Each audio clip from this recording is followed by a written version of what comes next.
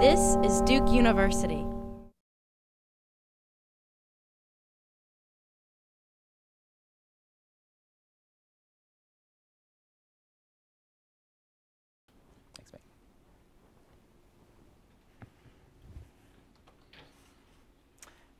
Thanks, for uh, taking the time to listen to some of the work we've been doing. I talk fast, so hopefully this won't take the whole five minutes. I do have several slides. so I'm going to be talking a little bit about some of the updates on one of our more mature projects that we have um, focused on sort of bioconversion. So what we do in our lab is we basically like to take microbes and treat them as biocatalysts, and we engineer them to do different things. So converting sugars, um, carbon dioxide, even natural gas in one of our projects to different useful chemicals, whether they be pharmaceuticals or bioactives in the biomedical space or nanomaterials, chemicals, and even biofuels. So what we do is basically take DNA, manipulate enzymes, which manipulate the bacteria or yeast. We grow those up into big, big cultures, and then eventually we commercialize them in large industrial tanks. So this would be similar to a, a biofuel process. And ideally, to replace the whole barrel of oil, we'd be looking at using renewable feedstocks um, in this project from corn, sugarcane, or even cellulose, and converting them not only to biofuels, but other higher value chemicals as well. And part of this, um, the DOE replacing the whole barrel of oil is actually to make the biomass more valuable to help reduce the costs of the biofuels um, long term.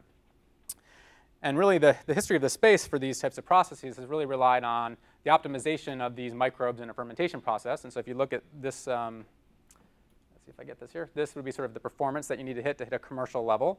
Um, and it takes a lot of time traditionally, right? So you have sort of proof of concept level, chassis or host strain engineering, which would be the microbial strain engineering.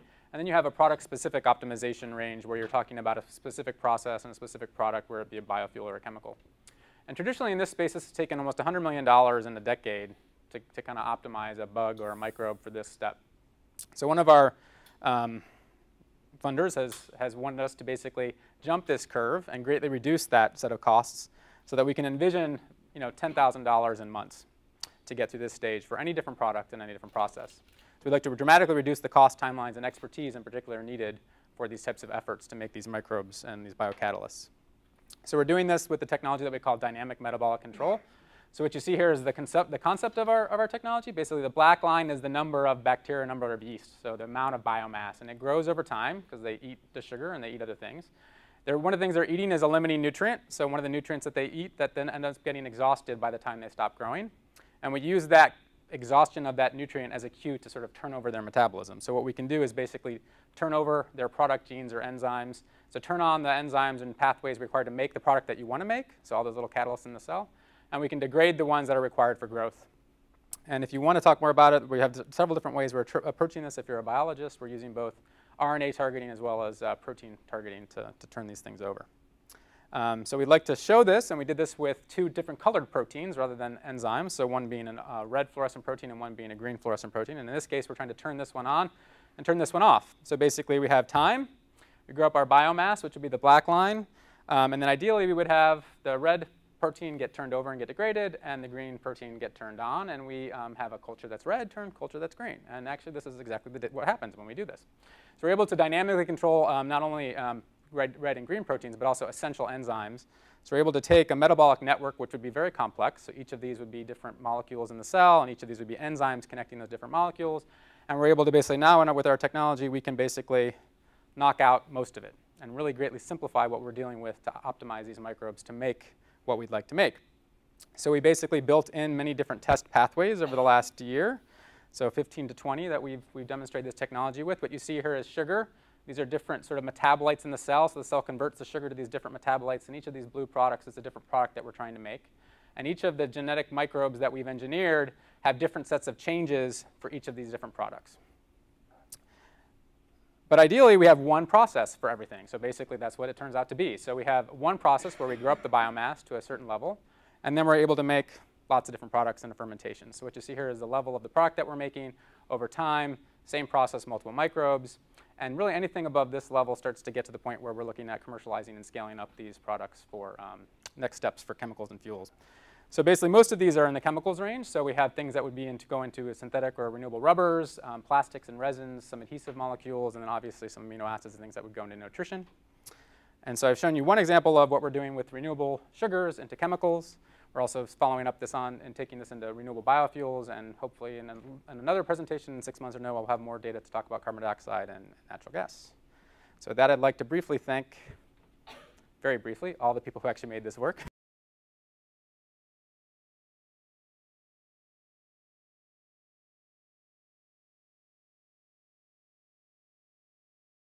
So um, I'll be speaking, as David already uh, announced, uh, about the computational side. So I call this materials for energy conversion by a computational approach. I joined the MEMS department about one and a half uh, years ago, so I'm also not, also not at Duke uh, very long, but I'm excited to see the uh, um, uh, activity going on on the energy side. So that's what I'd like to connect to. So the energy material side in our case, um, means mostly uh, materials properties that uh, are relevant to, to uh, light to energy conversion in some usable form, such as electrical energy or fuels. I'll say a few words about the uh, theoretical approach that we use, mainly what it can do, and then just mention briefly some of the materials examples that are being studied in our group. And then finally talk about or um, introduce a new energy initiative project that's uh, done together and led, in fact, by David Mitzi on defect engineering in photovoltaic materials um, that um, is about to begin at this point. So this slide is probably one that I don't have to uh, say very much about. I'm showing this um, various uh, sunlight to energy conversion examples because each of them is in some way connected to uh, materials questions underneath. In photovoltaics, that would be uh, um, um, traditional or new semiconductor materials that we can optimize or um, invent. In solar thermal energy, one of the uh, uh, long-standing problems was molten salts, for instance, that are used for thermal uh, storage until you can uh, use the thermal energy that you've collected to uh, create electrical energy. Then there's the whole side of uh, direct conversion of sunlight to um, fuels. Hydrogen evolution is the prototypical example. But for that, you need a catalyst material to make that work um, efficiently, and we are not at the stage where this is economically viable just yet at this point. And then there are other things that I would here refer to as dream processes in a way, because we're really far away, as far as I know anyway, uh, from realizing them, which is to basically take uh, CO2 from the atmosphere, use sunlight and a, a suitable uh, catalyst, and uh, do CO2 re reduction that way uh, to a fuel such as methane. But all these questions are questions that involve materials, and uh, from a computational point of view, what we can do and what we actually do is to solve Schrodinger's equation, which is shown in its very short form here. If you want to talk to me later, I can give you the long form. but the key point is that we have computers and we can do accurate computational predictions these days of properties of what I call here ideal materials. These are uh, materials models that go up to perhaps several thousands uh, of atoms at most uh, in the material but they give us access to basic uh, materials properties that are the properties of the ideal material if we could, could make them. And that can range from phase stability. So can you make a, a, given material at all? Just because I've drawn this here doesn't actually prove that you can make it or that, that it exists in nature. It could do something very different. Order, disorder, defect properties, and the electronic influence.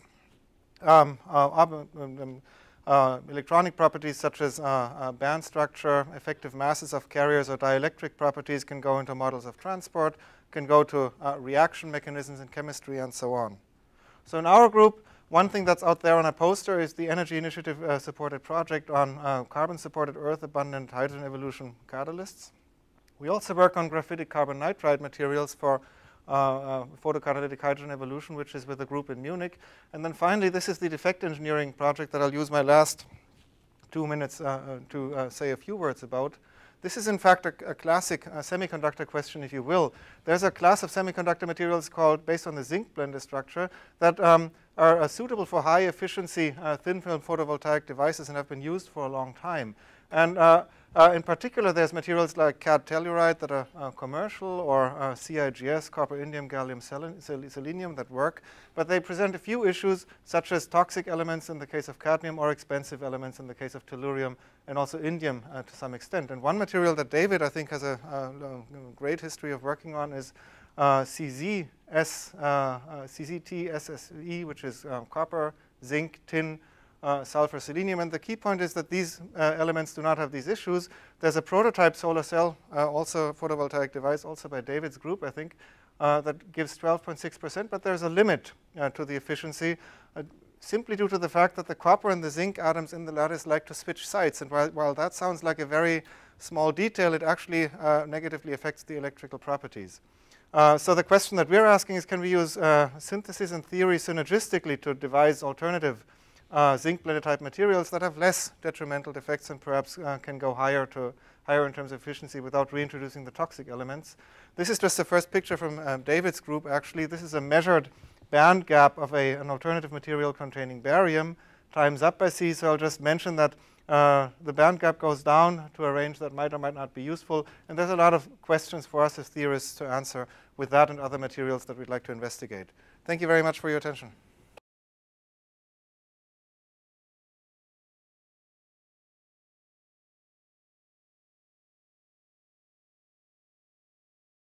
So, good afternoon. Um, I'm going to be talking about a novel deposition technique that's called resonant infrared matrix assisted pulsed laser evaporation, or RIR MAPLE. And we're using this for organic solar cells. So, by organic solar cells, um, which is a photovoltaic material, um, basically talking about solar cells that are made out of plastics. So, why would we be interested in that? A few reasons.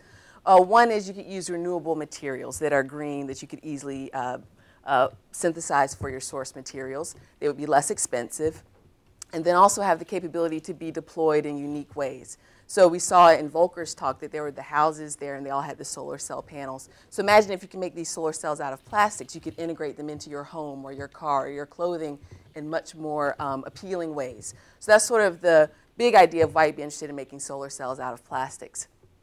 Now the general idea of an organic solar cell is based on this idea of a bulk heterojunction where you have two different materials. One is a donor and one is an acceptor. And at the interface of these two materials, you can separate an electron hole pair. So that is, you absorb light, you absorb a photon, you create an electron hole pair.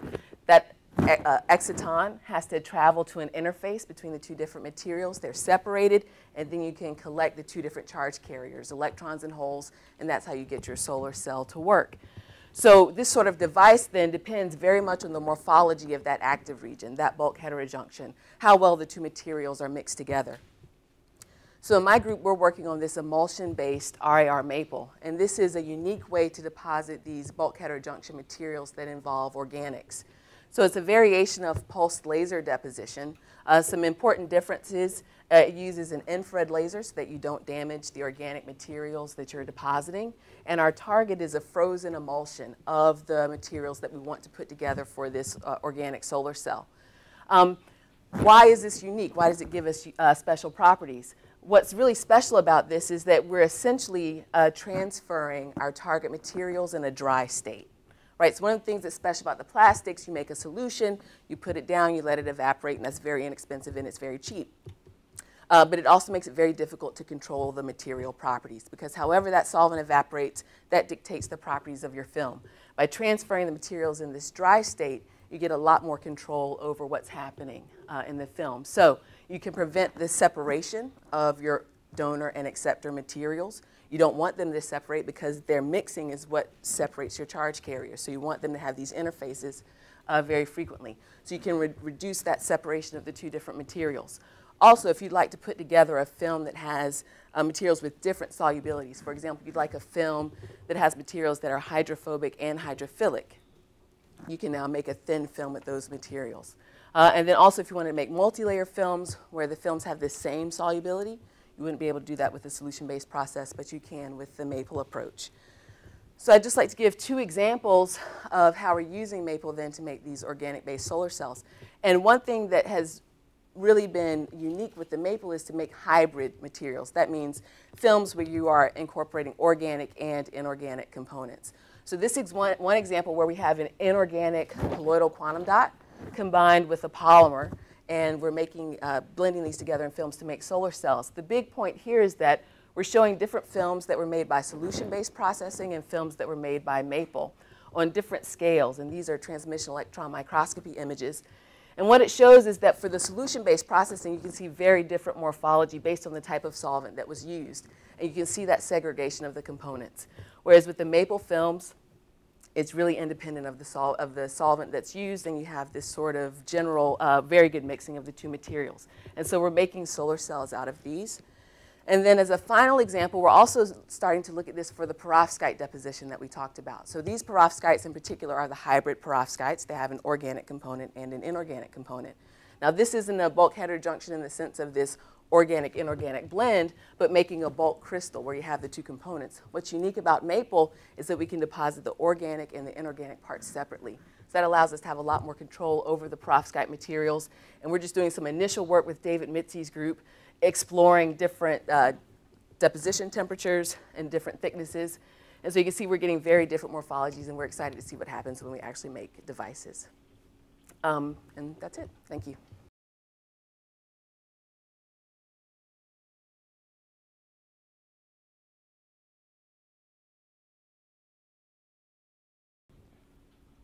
All right, good afternoon, everyone. Thank you for having me. Uh, thank you for introduction, Professor Mitzi. Uh, as you mentioned, I'm a fourth year uh, PhD student. Um, specifically, I'm working in nanomaterials and thin films lab, which is led by Professor Jeff Glass. And today I'll be talking to you about some of the recent advances we've made employing nanostructures for the electrochemical conversion and storage of solar energy. Uh, as far as the conversion is concerned, what we're interested in is in making hydrogen production a bit more sustainable, given that the current method that uh, that is used in industry uses fossil fuels as the main mechanism to produce hydrogen. The method that we're employing is known as photoelectrochemical water splitting. In short, the way it works is you have two electrodes where at least one of them is a semiconductor, therefore it's able to absorb light. And when it absorbs light, the Schottky junction that's formed forms an electric field that separates the electrons and holes. These electron hole and holes are, are key because they're the ones that are required for the two reactions required to split water. As you can imagine, one of these reactions is the hydrogen evolution reaction, and that's what takes place here at the cathode and requires two electrons. However, the reaction that we're interested in in our research is the oxygen evolution reaction, which takes place here at the anode. This one is sometimes considered to be the more sluggish and therefore rate limiting step in the reaction due to its required uh, four holes for the reaction to take place. Now, the approach that we've decided to take to develop our nanostructure makes use of an atomic layer deposition system that we built in our lab and we're proud to say is the first at Duke University. Atomic layer deposition is extremely exciting tool to use because it allows us very precise control over the thin films that we deposit. And essentially, its cyclic layer by layer nature allows you to deposit uh, materials over highly uh, porous, high surface area structures with extremely high uniformity and conformality. This self-limiting nature allows us to do that without blocking off more pores than we need. These pores are essential in order to maximize the overall reaction that takes place since the reaction takes place at the surfaces as shown here. In addition, by building an overall thick device, we can decouple the charge transport length required for the reaction from the overall depth of the film required to absorb the majority of the photons. Now, most recently, we were able to apply this to a nanostructure comprised of these transparent conductive nanoparticles, shown in blue here, that were coated with a photoactive layer of titanium oxide. What we found, in addition to the properties that we expected, is that our material actually was um, performing even better than the state-of-the-art rutile titanium oxide nanowires that are currently used. The conversion efficiencies as a function of wavelength here were steadily higher than those uh, that were produced by the nanowires. We ascribe this to having better charge transfer mechanisms at the surface, as well as in, improved uh, conversion efficiencies in the deeper UV range. However, um, in the future, we're looking to synthesize and tune materials that are more well adapted to the overall solar spectrum in order to make better use of it. In addition, we're also collaborating with Professor Sauscher and Professor Blum's group and making better hydrogen evolution uh, reaction catalysts. And then the second challenge that we're seeking to, uh, to tackle is actually uh, helping to store solar energy directly. The approach that we've used to doing this is a flexible based approach where we actually have every layer uh, compatible with manufacturing, more specifically roll-to-roll -roll manufacturing. By a layered device, I mean that the first layer is going to be an organic photovoltaic layer, uh, where directly underneath the layer we're working on is a supercapacitor or electrochemical capacitor. This is a basic uh, idea, but it's a little bit more complex as you can see here. However, it's important to note that this multidisciplinary uh, challenge uh, has all of us producing these uh, flexible roll-to-roll -roll compatible materials. However, the specific layer that I want to talk about is this supercapacitor or, or uh, energy storage layer that's comprised of graphene, carbon nanotubes, and manganese oxide. Um, graphene and carbon nanotubes are probably a couple of materials that you're familiar with. Uh, we're able to make these in our lab. But more recently, we showed that we can actually make a hybrid of these two in one step. And that's really exciting because not only could we make a hybrid where the graphene sticks out as edges or foliates off of the graphene or the carbon nanotubes walls, but we can actually control the foliate density. And uh, therefore, these actual foliate density, foliates uh, then served as nucleation sites where we could deposit the manganese oxide. And we verified this by looking at TEM images. We could see that they're preferentially nucleated there. What's exciting about this is that this translated into a huge boost in capacitance or energy storage capabilities for these electrodes. Now, the graphenated carbon nanotubes are still in its infancy, and we see a lot of potential of our ability to use them for various applications outside just supercapacitors. So this is leading to other collaborations. Uh, but in short, I hope that this presentation was able to give you quick insight into the work that we've been doing and uh, the future that we have. And um, it's important to note that all of this is based on collaborations and a multidisciplinary approach. And with that, I'd like to thank all our collaborators as well as my colleagues in the lab that were able to make this research happen. Thank you for your attention.